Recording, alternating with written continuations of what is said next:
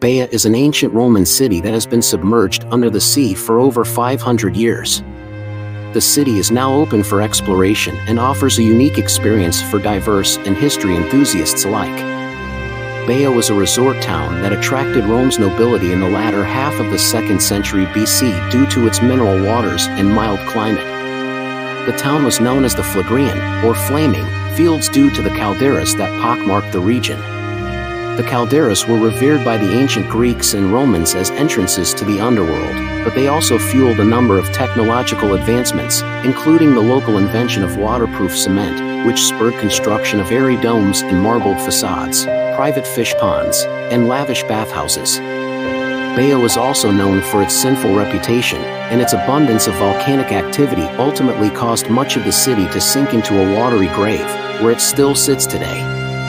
Tourist interest in the once popular coastline was renewed in the 1940s when a pilot shared an aerial photo of an edifice just below the ocean surface. Since then, advances in marine archaeology have offered glimpses into this chapter of antiquity, including submerged rotundas and porticos, such as the famed Temple of Venus, which was not a temple but a thermal sauna. The ruins beneath the sea's surface lie in relatively shallow water, at an average depth of 6 m, allowing visitors to see some of its eerie underwater structures from a glass-bottomed boat or video barca.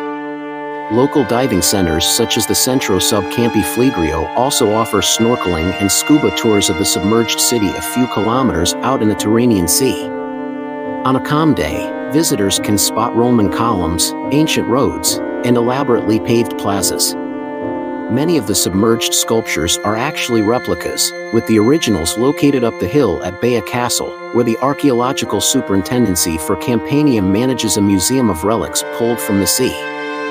Above-ground Roman ruins are also visible nearby at the Parco Archeologico del Terme di Baia, featuring the remains of mosaic terraces and domed bathhouses excavated in the 1950s by Amedeo Maiuri, the archaeologist who also unearthed Pompeii and Herculaneum the Parco Archeologico del Terme di is a fascinating site to visit, showcasing the opulence and grandeur of ancient Italy.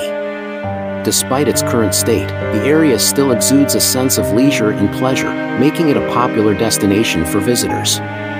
However, seismologists predict further volcanic activity in the area, which could jeopardize the site's future with the possibility of future volcanic activity and the talk of permanently closing the ruins to visitors, time may be running out for those who wish to explore this lost relic of ancient Italy.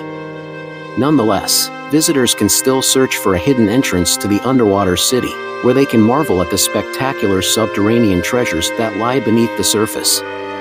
It is always important to prioritize safety when visiting any historical site, and visitors should heed any warnings or guidance given by local authorities.